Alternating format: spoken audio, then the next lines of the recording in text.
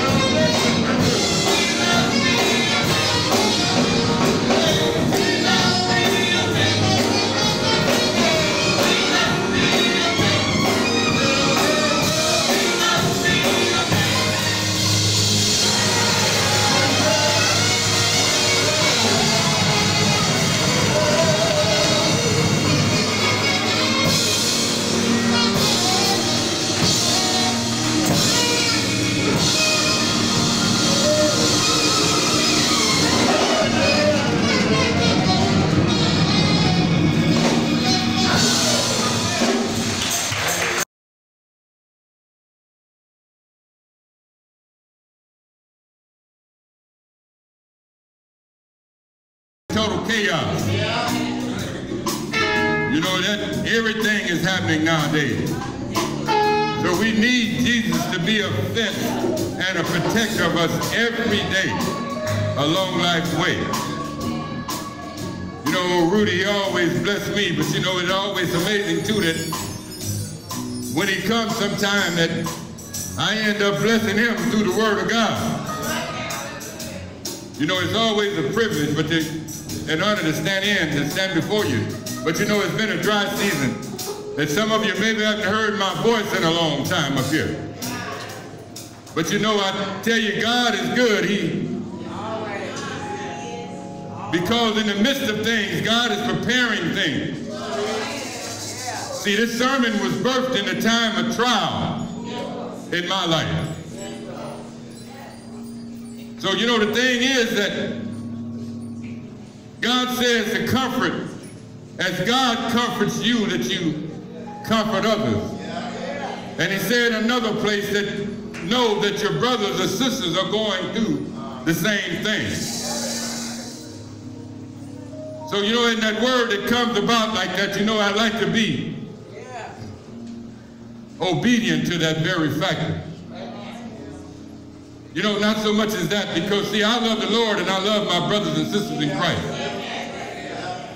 You know, my life is transparent. You know, there's nothing hidden in my life. I go through things. I've been through a fiery trial here in the last two months. But as you can see, here I stand.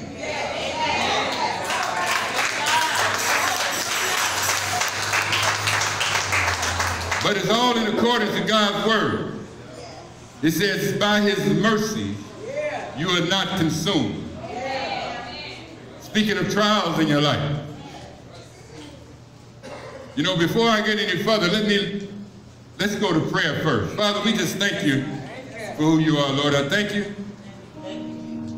for an opportunity, Lord, to share. Because you know the trial that I have and that I've been through, Lord, and Lord, that you have brought me through. Because you were there with me. Lord, I thank you that you placed in my heart that brother, your brothers and sisters are going through things and now you can share with them what you went through and that you can glorify me in it. And Lord, I just thank you for that opportunity.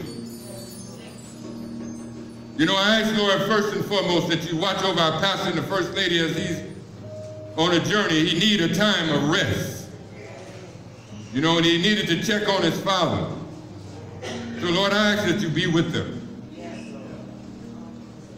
That you watch over them, that you protect them.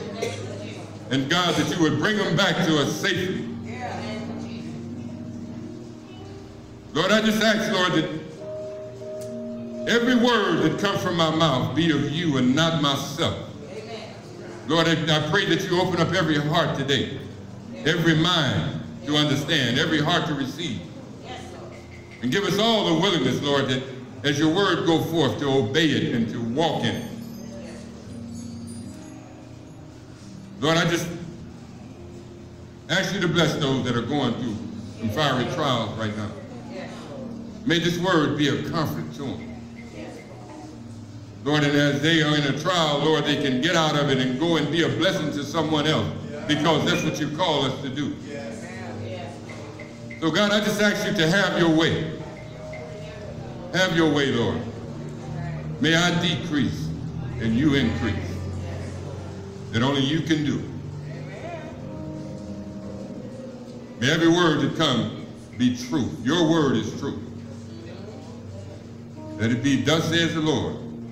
Not of any opinion, but I'll share my life as the Lord and boast in what you have done for me in my life, that it can be an encouragement for my brothers and sisters that are going through the same thing. So Lord, have your way, Lord, and through all and everything, Lord, and for all eternity, we'll be careful to give you praise, honor, and glory.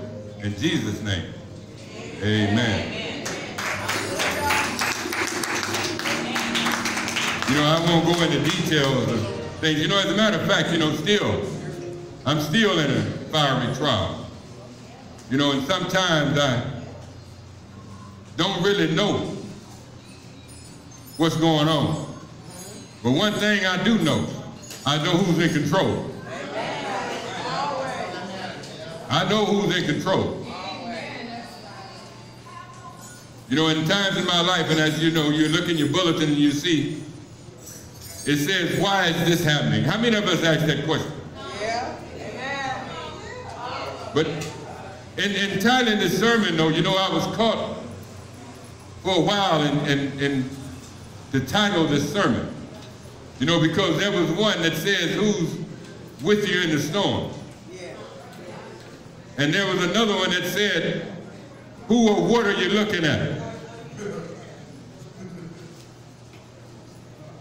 But it was just settled in my spirit to make this title, Why is This Happening?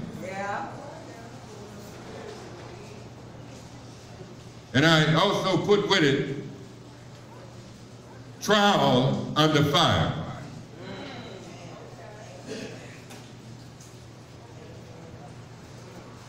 You know, as most of us, we ask ourselves this question when things don't seem to be going as we would have them, or someone is not acting in accordance with our view or position. This question is asked by most Christians when suffering for their faith. I want to talk to you today about adversity because that, these are my function statements. Adversity and suffering. You know that word adversity, you know it means of an adverse situation. When we think things, everything is supposed to go good, but you know, God has a way of working out his will and plan for our lives through adversity. And I want to just give you a definition of adversity, a few definitions. It says one, a, a state of hardship or affliction, misfortune, a, cal a cal calamitous event, and affliction, a condition of pain, suffering, or distress.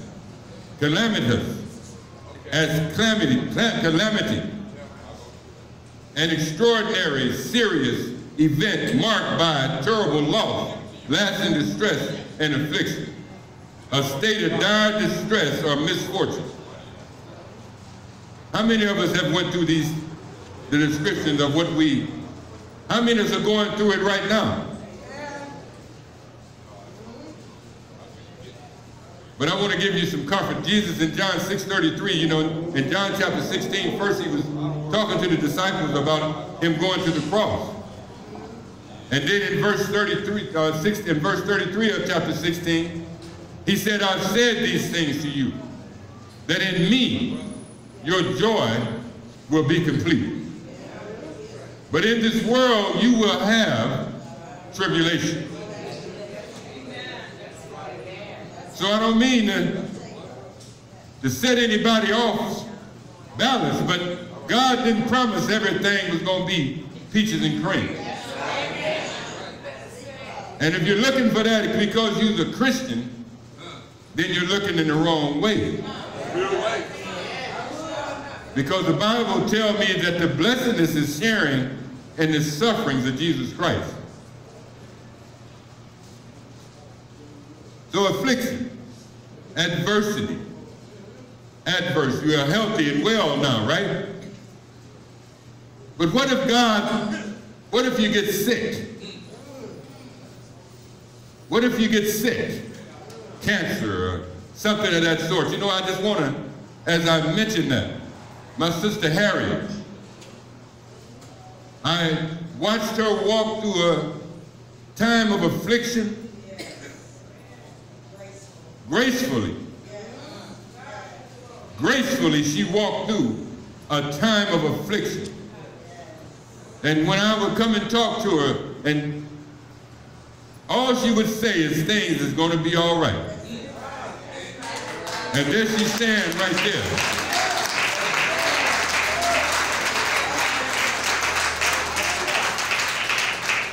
So affliction you know, we think that God promises health and wealth and all these things, but God has a way of dealing with us. And in dealing with us, he deals with us through trial. You know, he told Israel, I have brought you into this wilderness to test you to, and to see if you will obey me. See, when adverse situations come and things that are, a testing of the factor, are you going to continuously walk with God? Or are you going to turn around? Or are you going to complain and whine? Jesus said in John 6, 33, he said, be of good cheer. I've overcome the world for you. How many of you can hold on to that promise in the time of affliction?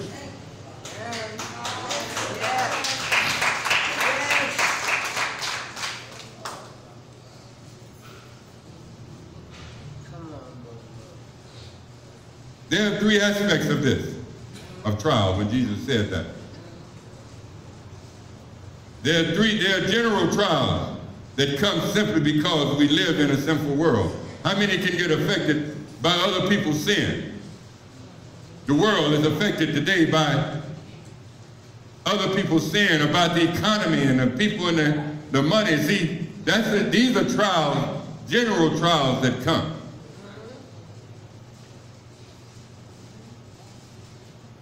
And then there's the, the affliction, as I shared, that comes and trials that, that God allows to come into our lives. And these afflictions and things are the ones that I say that sickness might hit you. So you ask that question, what I shared with you. Why is this happening? Why is this happening?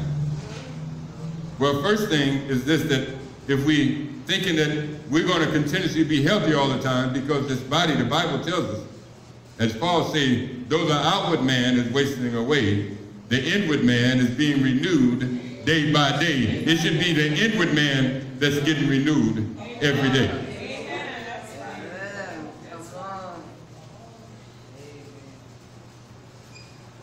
And then there's the chastisement that comes more directly from God. You can start to lose some things. See? So the thing is that my life in the past two months is, it's been one of great concern. But it always, that it comes back to trust God. Trust God. As we go a little further into this sermon, you're going to, I pray that the Lord would enlighten you even more into the very factor of that you face your trial with the joy. Because they're not there to destroy you. They're there to build you. Now the world of unbelievers is a different story.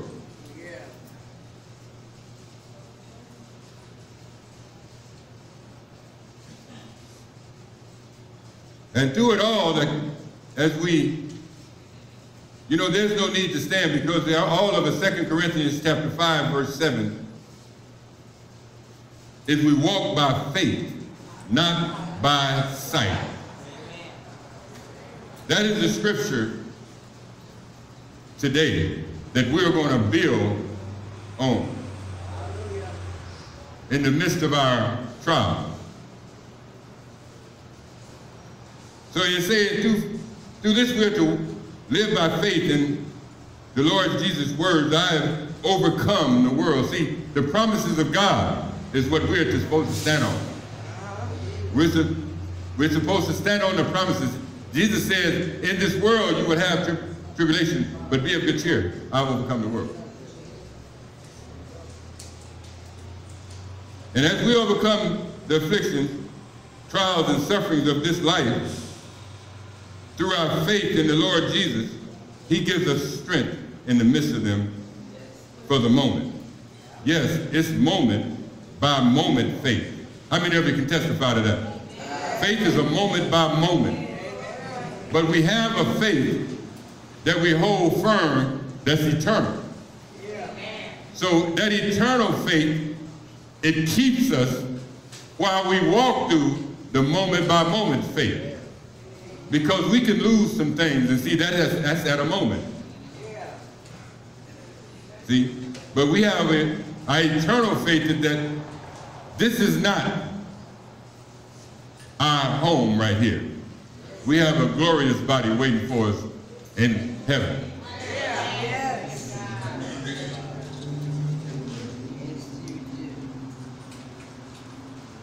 Like I said, and sharing this is because of my experience. See, the Lord, when he healed the man, he told him, now go and tell him what the Lord has done. But where do you find your joy? In the midst of trials. Maybe your wife ain't acting right. Do you find your joy in her? Maybe your husband ain't acting right. Do you find your joy in that? Maybe you don't have a job. Is that what's going to bring you joy? Jesus said in John 16, 33, and explained for us all, he said that in me, in me, plain ain't that plural? In me, your joy will be complete. It's found in Jesus. That's who it's found in. But you know, through our experiences, some we like to, we go through things and we mask things and we hold on to things. We do ourselves injustice when we are going through something and we don't want to share. Because when you, if you share what you're going through, guess what? Somebody might have, God might have placed somebody right there beside you that have been through it that can comfort you because they have been through it. And that's how we comfort one another as God comforts us.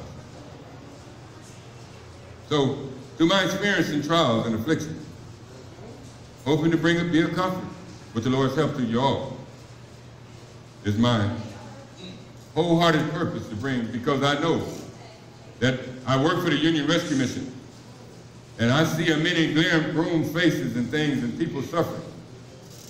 But one thing about it that I try my best to, that, to bring a joy because you don't see my face, to let my face have a gloom thing because of what I'm going through. But when I'm going through it, I'm looking for an opportunity to be a blessing to someone that's going through something because I see what's going on around here.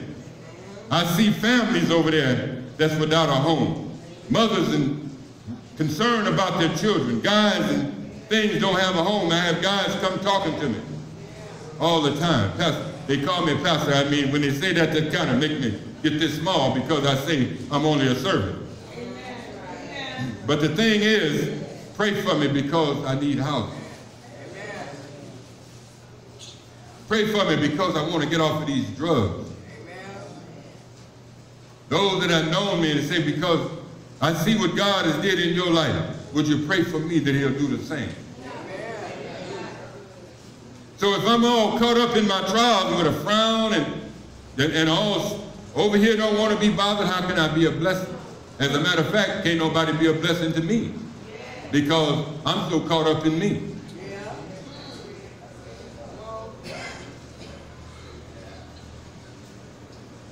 So it's with the Lord's help that I'll be a, a blessing to you and an encouragement to you in the midst of your trial, knowing that you're not alone. We're all in it together, but Jesus is right there with us. Amen. He said, I'll never leave you nor forsake you.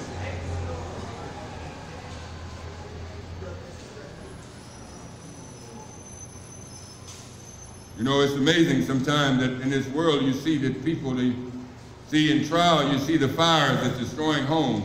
When I say losses, you see a many things that take people losing their homes just by default. Other people. So conniving.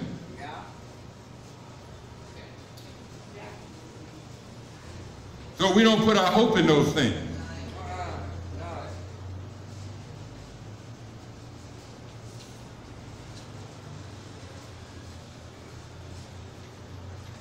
You know, confirmation and confidence of the scriptures that we can find hope, the Bible says, that we can find hope.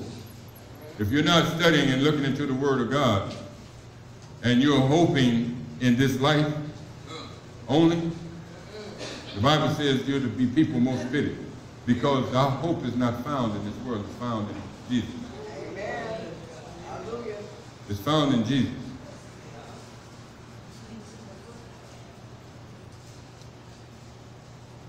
You know, and such a wonderful thing that in 2 Corinthians chapter 4, verse 18, it says that these things are just momentary light affliction.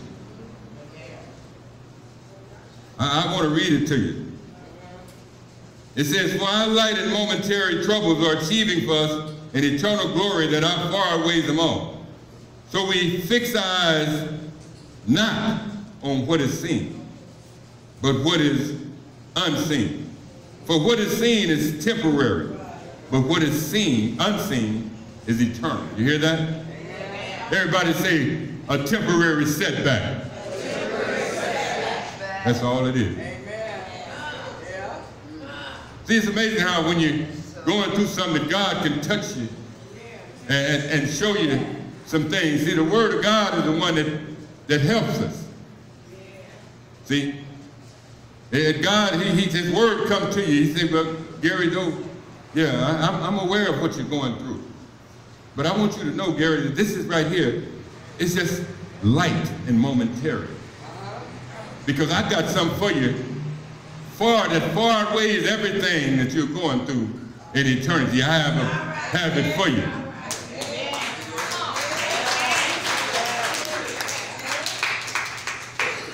So we fix our eyes not on what is seen, but what is unseen. How can you do that?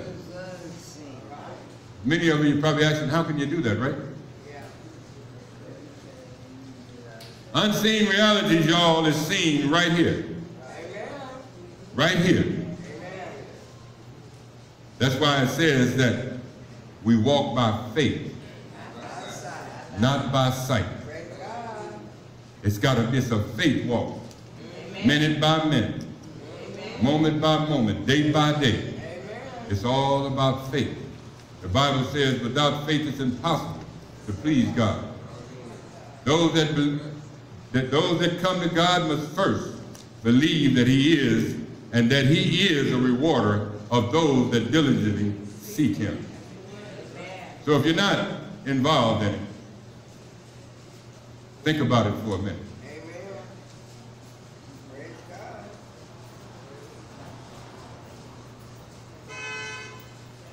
So we see that faith is not so much as looking at things that we that are visible, but things that are invisible. Eternity. The, the scriptures testify in Ecclesiastes chapter 3, verse 11, that God has placed eternity in our hearts. He's placed eternity in our hearts. You know, I just the other day at the mission, I was ashamed to say that a lady dropped dead in the women's side of the the mission. You know, you don't know. You know, death is certain. And, and we shouldn't hope in these things and stuff that we hope in. You know, sometimes I got, get caught up in, and I see things, what I'm looking at, I hope for that, and some hit me and say, wait a minute. That's all right. Be content in what you have. Praise God. Yes. Thank God in the midst of the trials. Thank God in the midst of it. Because you stand on his word. We have to stand on the word of God in time, y'all. Not anything that we can conjure up in our mind. Let the word of God saturate your mind and heart in the midst of your trials. And you'll find that you will walk through with your head up high.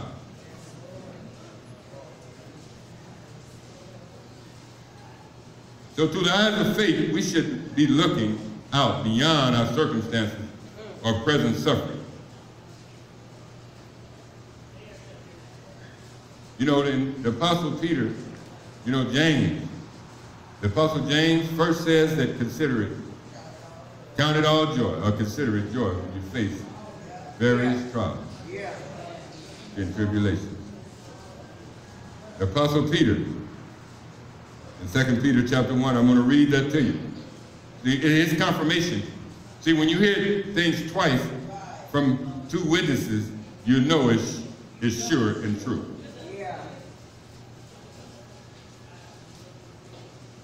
And in 1 Peter chapter 1, chapter 1, verses 6 through 7, it says this. In this you greatly rejoice, though now for a little while you may have had to suffer grief in all kinds of trials. These have come, hear this now, these have come that your faith of greater worth than gold, which perishes even though refined by fire may be proved, proved genuine and may result in praise, glory, and honor when Jesus is revealed. These have come. So if you going through something, if we are going through something, we know that the Bible, the Word of God has testified, these have come. They're not there to destroy you. God is trying to build you, and he's trying to bring you more like who? No, let's say it. To be you, bring you more like who? I beg your pardon, I can't hear you. No, he's coming to bring you more like Jesus, more like his son, and all of you should have shouted that for joy. To bring you more like Jesus. And these, these have come.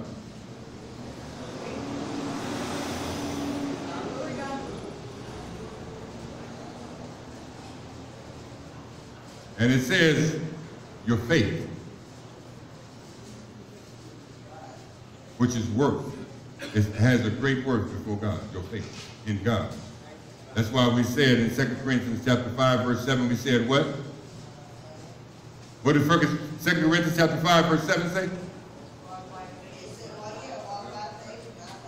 Boy, we sure got some closed mouths in here. Uh, let me let me let me get somebody stirred up here. Uh, what y'all mind and what are you looking at today? What are y'all looking at right now? You got your mind set on some other things that you can't be filled with joy at the word of God. Y'all need to focus.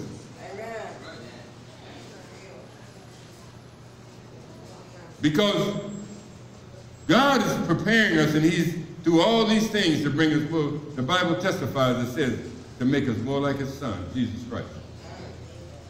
Because Jesus suffered.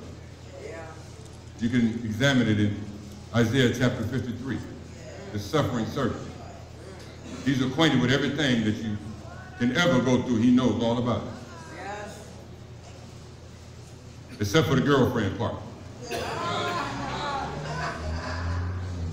So if that's where your mind is set at, uh, that's a, don't be concerned, give it to God, and you just focus upon the Lord. Because if how what good can you be to her if you're not, if you don't have Jesus?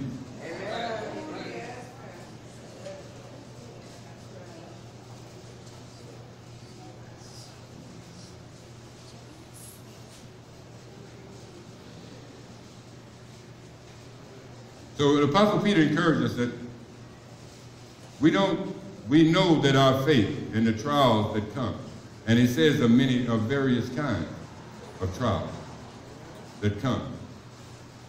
These have come to test your faith, Amen. which is more precious than gold, though it's refined by fire. Remember I told you, when I had, I brought bringing the title to, to this sermon, I was caught twisted between, but when I came to this one, why is this happening to me? Trial under fire. Fiery trial, if you think you got it made, you're fooling yourself.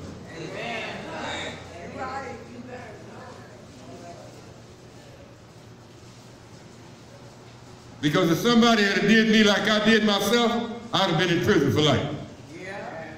On how you treat yourself, you cause yourself more trials we can cause ourselves more harm than anybody could ever cause us. By the way we think.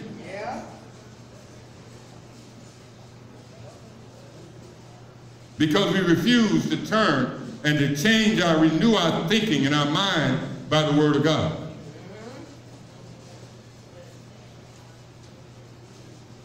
So the thing is that we, sometimes these things come too because of our own doing. That's why it says the chastisement of God.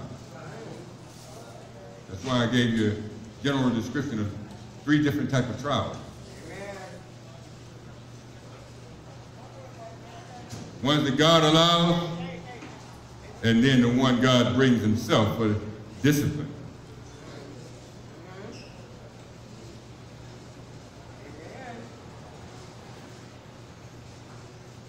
So the, the main thing is that it says that we suffer, that you're suffering, that you, everything is coming, is coming because for righteousness' sake. Amen. Not because of unrighteous behavior and acts. Because it says that we're suffering for righteousness. The Spirit of God rests, when you suffer for righteousness, the Spirit of God rests upon you. But if you're suffering because of something that you're doing, the way that you're living,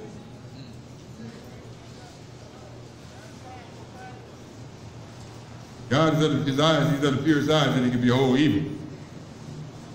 And we all should be, our goal is to walk in a right way. Amen. And that's how we walk by faith, because it said walk by faith. And you ask yourself a question, how do I walk by faith? Moment by moment, with the decision to do the right thing Amen. and to obey God. Amen. Because if you got faith, if your faith is truly in God, then your faith is firm is in his word and his standards that he's set for our lives. Because we know that the standards that God has set are good for us.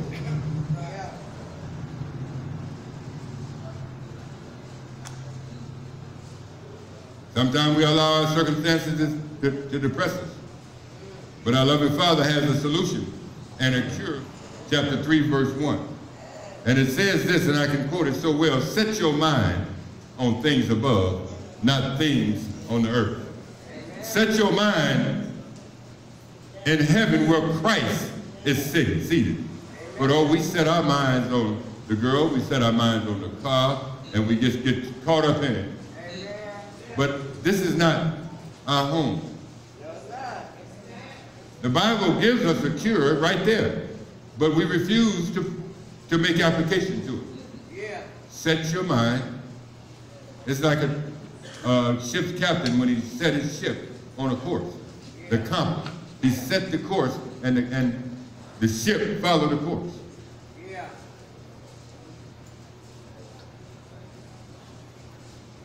You know, faith I mean, in, in Colossians chapter 3, it's a reminder, like, check this out, that faith is like looking out with an outstretched neck at eternal things. Yeah. So whatever you may be going through, if we would just look to Jesus as Hebrews chapter 12, verse 2 encourages. So my brothers and sisters, in this life, we are going to have trials and tribulations as John 16, 33 tells us. So be of good cheer. Trials come knowing that Jesus, our Lord, watches over us, so we walk by faith, not by sight.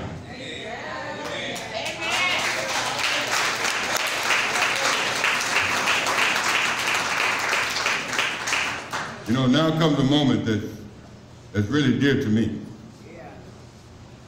Uh, it, it, it's a moment that it's a decision got to be made. Yeah, we can come to church and we can get you feeling good and we can do this and we think this is our righteousness and we think that this is what saves us. But My name is Anthony Stallworth and I'm a senior pastor at Central City Community Church of the Nazarene. We're located at 419 East 6th Street, downtown Los Angeles, on the corner of 6th and San Pedro. We are a church that serves the Skid Row community. So I'm sure that you can imagine that it's difficult for us to support our ministry with the tithes and the offerings. If today's message has helped you, perhaps you would like to come alongside Central City and prayerfully consider helping support this ministry by sending your tax-deductible gift to Central City Community Church, P.O. Box 13273, Los Angeles, California, 90013. Thank you.